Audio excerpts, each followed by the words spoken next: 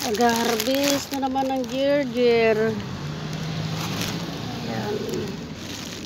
Para sa salad. ah. Ayan.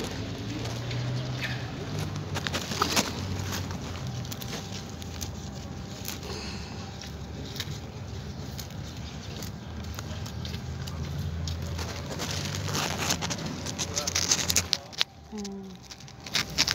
Ang haba na ng alugbati, oh. Ayan. Ayan, oh. Ang lawak.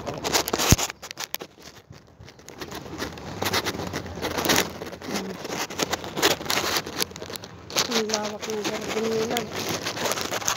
Ay, sayang. Ang bulaklak ng kalabasa, oh.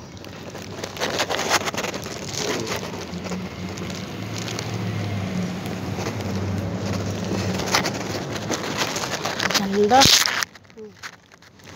Ganito lang yung garden nila dito.